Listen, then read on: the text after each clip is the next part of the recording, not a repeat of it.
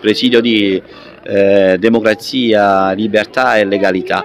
Qui abita la Costituzione, nelle nostre sedi abita la Costituzione. Quello che è accaduto è un fatto di una gravità inaudita eh, che ha precedenti di circa 100 anni fa, ma veramente va respinto con, con decisione. È un attacco alla, alla democrazia, guardate non è neanche la questione del Green Pass ma lì è solo una scusa perché una volta c'è il Green Pass, l'altra volta gli immigrati o altri problemi, eh, sono scuse per fare violenza e attaccare i presidi di legalità e di democrazia. È giunto il momento che il Parlamento si decida e le associazioni che professano apologie di fascismo vengano immediatamente cassate perché così come prevede la nostra Costituzione. Quindi io mi auguro che il Parlamento abbia una reazione immediata rispetto a questa violenza a queste illegittimità, gravi illegittimità.